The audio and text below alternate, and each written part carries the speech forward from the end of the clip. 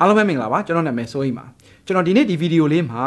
စီးပွားရေးလုပ်ငန်းရှင်တွေကိုမျှဝေခြင်းတဲ့အချက်ကလေး၅ချက်ရှိပါတယ်ဒါပါလဲဆိုတော့စီးပွားရေးလုပ်ငန်းရှင်တွေလိုအပ်နေတဲ့အရေးချင်းတွေဖြစ်ပါတယ်အဲ့ဒီလိုအပ်နေတဲ့အရေးချင်းတွေဟာနံပါတ်1အရေးကြီးဆုံးဟာ team building ပါ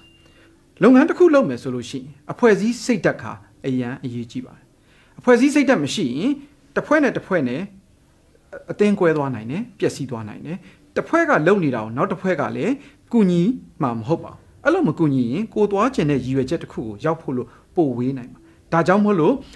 ခေါင်းဆောင်တွေ manager တွေဟာ team building ကိုတည်တည်ချာချာဂရုစိုက်စေချင်ပါတယ်နံပါတ်1အရေးကြီးဆုံးပါလဲအဲ့တော့ feedback ပါကိုယ့်ရဲ့ဝန်ထမ်းတွေ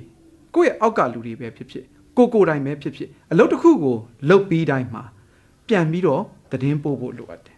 ပြန်ပြီးတော့တင်ပြနိုင်ရမယ် ကိုကလူကြီးပဲဖြစ်ဖြစ်အောက်ကအငယ်ပဲဖြစ်ဖြစ်ကိုယ့်ရဲ့အဖွဲ့ကိုကိုယ့်ရဲ့ team ကိုပြန်ပြီးတော့ပြောပြပါငါဘာတွေလုပ်ပြီးပြီလဲမင်းတို့ဘာတွေလုပ်ပြီးပြီလဲဆိုအဲ့ဒါဟာအရေးကြီးဆုံးအချက်တစ်ခုဖြစ်ပါတယ်နောက်တစ်ခုကဘာလဲဆိုတော့ time management ပါအလုပ်လုပ်တဲ့အချိန်မှာအချိန်ဟာအရန်တန်ဖိုးရှိပါတယ်တန်ဖိုးရှိတဲ့အချိန်တွေကိုမဖြုံးမိဖို့လို့အတွက်ကျွန်တော်တို့ခေါင်းဆောင်တွေကဥဆောင်ရမယ်လမ်းပြပေးရမယ်ဒါကြောင့်မို့လို့အချိန်တစ်နာရီတိုင်း အချိန်1မိနစ်တိုင်းဟာတန်ဖိုးရှိကြောင်းကိုကိုယ့်ရဲ့အောက်ခြေကိုဝန်ထမ်းတွေကိုတည်တည်ချာချာရှင်းပြနိုင်ရပါကိုယ်တိုင်လည်းတန်ဖိုးထားတတ်အချိန်ကိုတည်တည်ချာချာစီမံခန့်ခွဲတတ်ဖို့လိုလိုအပ်ပါတယ်နောက်တစ်ခုက delegation ပါကိုယ်အလုပ်လုပ်လို့ရှိရင်ကိုကလုပ်ငန်းရှင်ပဲဖြစ်ဖြစ် manager ပဲဖြစ်ဖြစ်ကိုတယောက်တည်းလုံးမယ်လို့ဘယ်တော့မှစိတ်ထဲမှာမထားပါဘူးကိုမလုံးနိုင်တာတွေအများကြီးရှိတယ်ကိုမှတခြားအရေးကြီးတဲ့မဟာဗျူဟာမြောက်စဉ်းစားစရာတွေရှိ ဒါကြောင့်မို့လို့ delegate ဆိုတာအရေးကြီးတယ်လုတ်ပိုင်ခွင့်ပေးပါလူငယ်တွေကိုလုတ်ပိုင်ခွင့်ရဲရဲကြီးပေးကြည့်ပါသူတို့လုတ်ပြပါလိမ့်မယ်နောက်ဆုံးတစ်ချက်က communication ပါကိုကလူကြီးတယောက်ဖြစ်သွားပြီ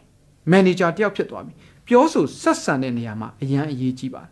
အပေါ်စီကဆက်ဆံတာမျိုးတွေလည်းမလုပ်မိစေပါနဲ့အောက်ကျပြီးဆက်ဆံစရာလည်းမလိုပါဘူးကျွန်တော်တို့ပုံမှန်လေးဆက်ဆံဖို့လိုပါတယ်အောက်ကလည်းကိုယ့်ကိုဆက်ဆံမှုတွေကိုလည်းပွန့်ပွန့်လင်းလင်းရဲရဲဝံ့ဝံ့ဆက်ဆံနိုင်အောင်လို့တွန်းအားပေးဖို့လိုပါတယ်